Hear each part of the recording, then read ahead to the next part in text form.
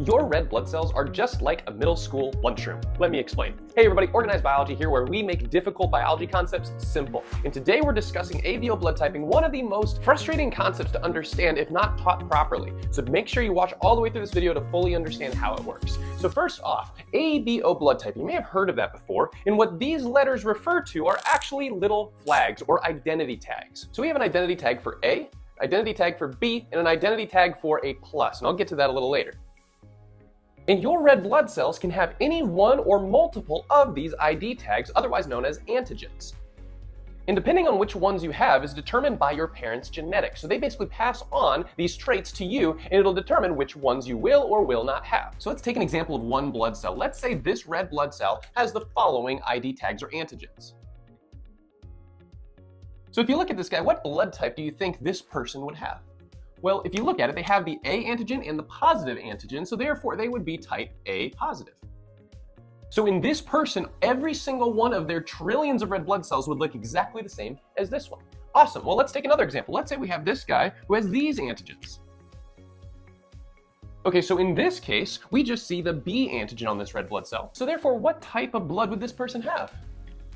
Well, we would have type B, but here's the thing this person is lacking that positive antigen. So therefore, we determine that this person is actually B negative, meaning they don't have that positive antigen on their blood cells. Okay? So let's try one more example to make sure you really get this. Let's say this guy looks like that.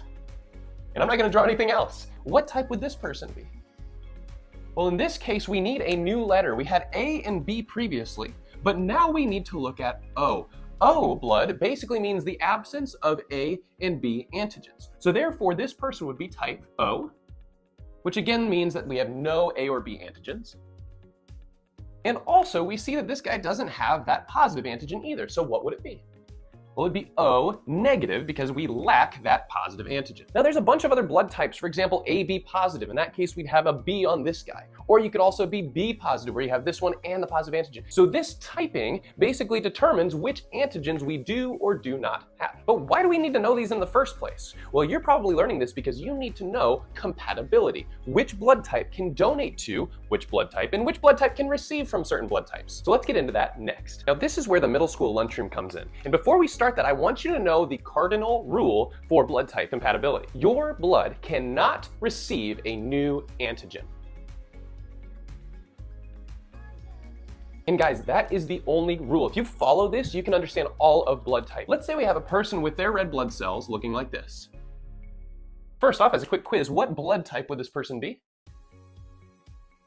Well, they only have that A antigen, so we know that they are type A. But then we lack that positive antigen, so therefore we are type A negative. Awesome. So now I'm going to draw a few different blood types over here, and you tell me which one can actually donate to type A negative. Ready? Go. All right, so here are your three blood types. We've got this guy here with no antigens, this guy with just the positive, and then this guy with the A and the positive. So following this rule, the receiving blood type cannot receive a new antigen. Which of these three could donate to type A?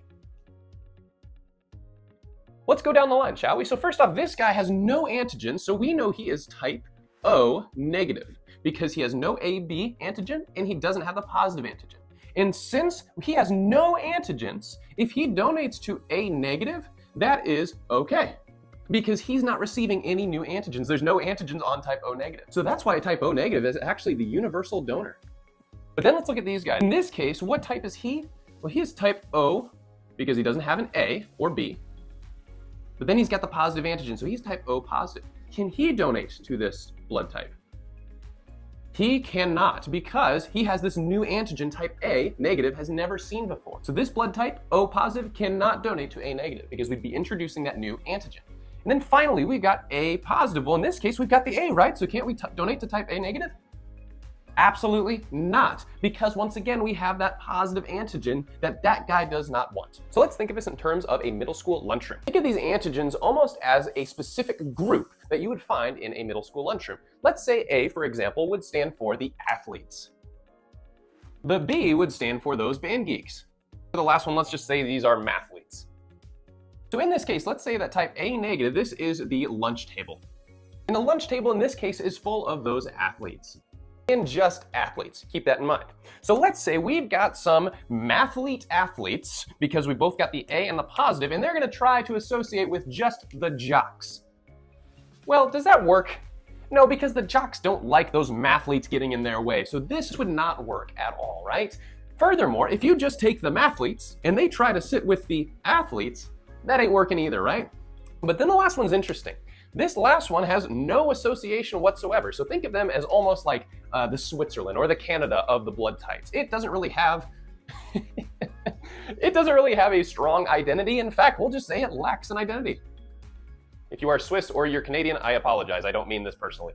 But think about it. This blood type doesn't really have any identity. If they go and sit with the athletes, the athletes will just be like, eh, they're no threat to me. We don't, we're not bothered by them, right? So they can just sit there. They won't bother us and we won't bother them. So that's why this donation can occur. So let's extend this analogy to one more example. Okay, now we have this incredibly accepting lunch table because we've got the athletes, we've got the band geeks, and the mathletes all at one table. So in this case, this red blood cell type would be type AB positive because it contains every single one of the three antigens that we could have, right? So think about it. If we have a mathlete coming in here being type O positive, this mathlete can actually associate with the other mathlete. So this is totally okay because this receiving blood type is not receiving any new antigen. We've got the positives on both sides, right?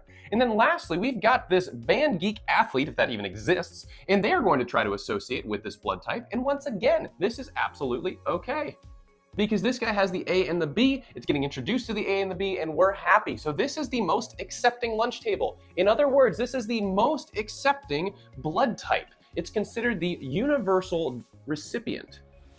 Because whatever blood type it receives, there's no new antigens to be presented. So therefore, if you're type AB positive, you can receive quite literally anybody's blood type. But why are there these rules in the first place? Well, we need to talk about antibodies and the agglutination reaction next. So let's take this example of what happens if a person with type O negative blood is going to receive accidentally from a person with type O positive blood.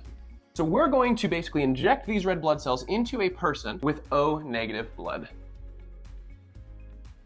Okay, so first off, why can this not happen? Well, remember our number one rule. The receiving blood type, being O negative, cannot receive a new antigen, and that's exactly what's happening here. This is that positive antigen, and we are introducing this person's bloodstream with this foreign thing that it's never seen before, right? That's the issue here. This is considered foreign to this person, right? So now what's gonna happen is we have these things called lymphocytes, which are basically these white blood cells that are trained to recognize foreign things. And once they do recognize those foreign things, what they're going to do is produce what's called antibodies. And these antibodies are meant to basically attach and attack these foreign antigens. So they would look something like this. And you see how these antibodies produced by the lymphocytes will actually perfectly attach to all of these foreign antigens. And that's the lymphocytes' way of basically attacking these guys. Now, the problem with this is in the bloodstream, if you have enough of these red blood cells, which you usually are when you're doing a blood transfusion, what will happen is all of these blood cells with the antibodies attaching to them will agglutinate, which will look something like this.